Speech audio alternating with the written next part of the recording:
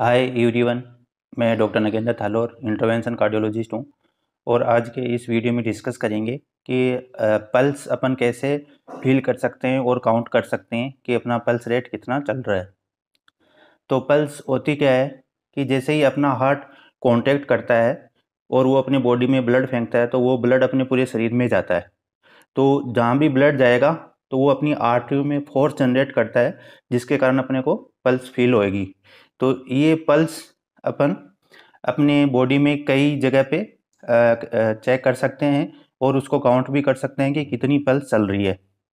तो इस वीडियो में अपन देखेंगे, एक तीन पॉइंट पे अपन कैलकुलेट करेंगे पल्स को।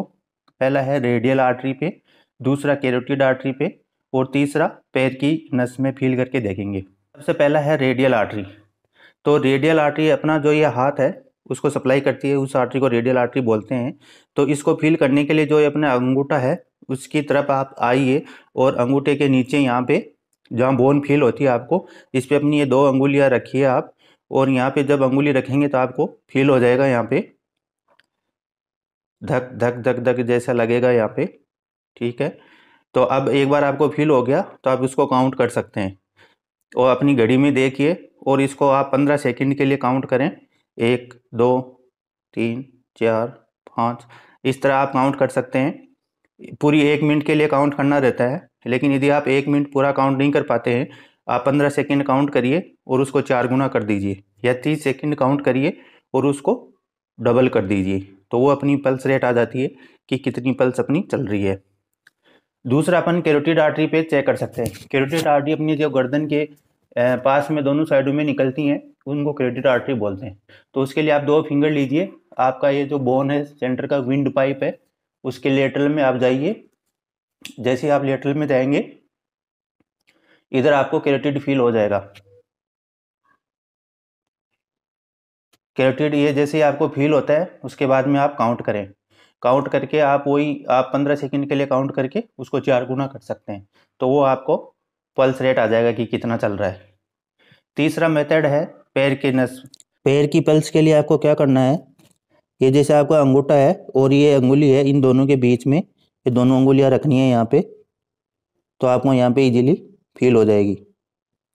अब यदि आप खुद काउंट नहीं कर पा रहे हैं तो डिजिटल इंस्ट्रूमेंट होते हैं उनसे भी अपन काउंट कर सकते हैं। जैसे अपन बीपी चेक करते हैं अपना तो बीपी घर पे जो भी बीपी इंस्ट्रूमेंट होता है उसमें बीपी के साथ में पल्स की रीडिंग भी आती है तो वो आप देख सकते हैं। जैसे आपका जैसे पल्स ऑक्सीमीटर रहता है इसमें भी आप काउंट कर सकते हैं लगा के। ये भी आपकी पल्स भी बताता है और ऑक्सीजन सेचुरेशन भी बताता है। और तीसरा, जैसे कोई अपन जो फिटनेस ट्रैकर लगाते हैं रिस्ट पे बाँध के रखते हैं, उनमें भी अपनी पल्स रेट आती रहती है। तो इस तरह आप पल्स चेक कर सकते हैं। तो एक स्वस्थ आदमी की नॉर्मल पल्स साठ से सौ के बीच में होती है। और यदि अपनी पल्स साठ से कम जा रही है, जैसे पचास होगी या चालीस होगी तो उसको बोलते हैं ब्रेडिकार्डिया यानी ये धड़कन अपनी कम हो रही है। और बहुत ज़्यादा कम हो जाती है तो फिर क्या शरीर में प्रॉपर ब्लड सप्लाई नहीं हो पाएगी? तो अपने को जैसे चक्कर आना, थकान लगना और बेहोशी जैसा लगने लग जाता है। इसी तरह यदि अपनी पल्स सौ से ज़्यादा जा रही है तो उसको टेकिकार्डिया कहते हैं, यानी अपनी तेज़ चल रही है, बहुत पल्स है या धड़कन जो तेज़ चल रही है तो उसको साइनिस टेकिकार्डिया बोलते हैं।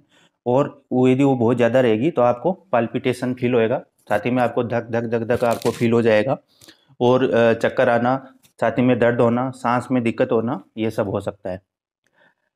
इसके अलावा यदि आपकी धड़कन रेगुलर नहीं चल रही है, जैसे आप फील कर रहे हैं तो कभी जल्दी आ रही है, कभी धीरे आ रही है तो वो एकदम रेगुलर नहीं चल रही, इरेगुलर चलती है तो वो भी हानिकारक रहती है। क्योंकि जब इरेगुलर रहती है, जिसको एयरटेल फिब्रिलेशन बोलते हैं, और उस कंडीशन में आपका हार्ट एक बार तो तेज़ तेज़ कॉन्टेक्ट करेगा, एक बार धीरे करेगा तो वो प्रॉपर ब्लड सप्लाई नहीं कर पाएगा। तो हार्ट में कई बार क्लोट भी बन जाते हैं और वो क्लोट जैसे आपके ब्रेन में चला गया स्ट्रोक पैरालिसिस कर सकता है या हार्ट की नस में चला गया तो आपको हार्ट अटैक भी कर सकता है। कई बार पैर की नस में चला गया तो पैर में एकदम से दर्द होना और पैर सुनना होना ये सब हो जाता है।